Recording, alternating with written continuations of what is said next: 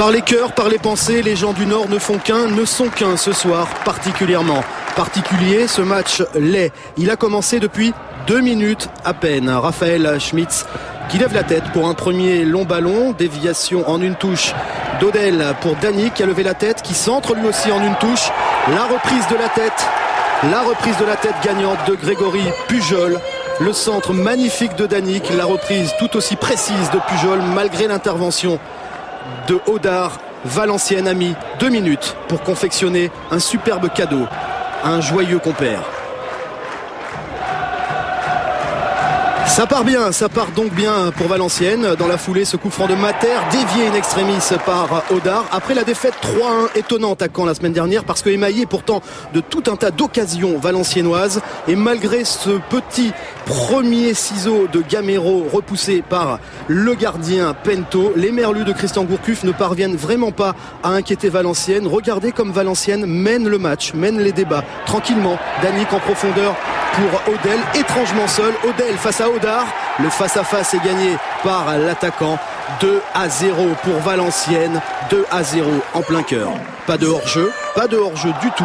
Et surtout cet appel intérieur-extérieur, ce n'est pas le premier, ce n'est pas le dernier dans ce match qui déboussole la défense lorientaise. Oui, en plein cœur. 2 à 0 et Valenciennes qui continue. Il y a eu des largesses défensives, il y a même carrément maintenant des cadeaux. La passe en retrait ultra dangereuse de Jallet. Nouveau face à face, Odell, Odard. Odell a fait le plus dur, il marque. Non, il n'a eu que notre micro extérieur au but. On vient de passer tout près du 3-0 et enfin à la demi-heure, Lorient qui se montre dangereux toujours par Gamero qui trouve la barre transversale de Pento.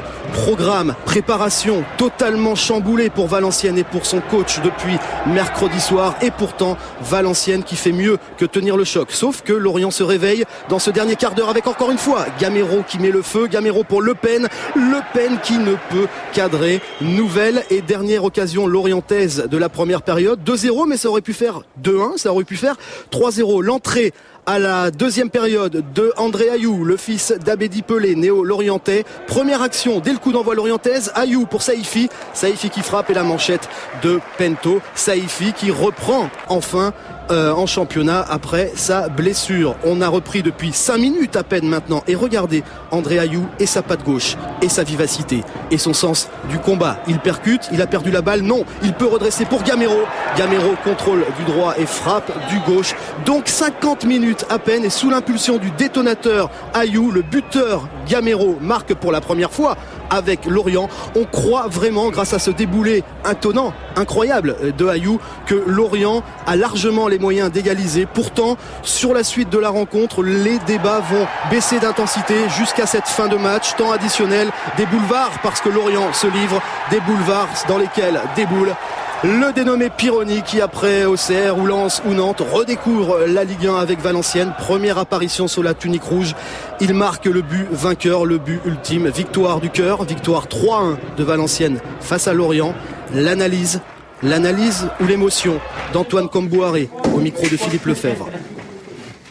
On savait que ça allait être un match difficile, compliqué, face à un, très bel adversaire. Je pense que ce soir, il faut aussi euh, rendre hommage à cette équipe de Lorient parce qu'ils ont n'ont jamais lâché. Hein. La preuve, on pensait avoir fait le plus dur en menant 2-0.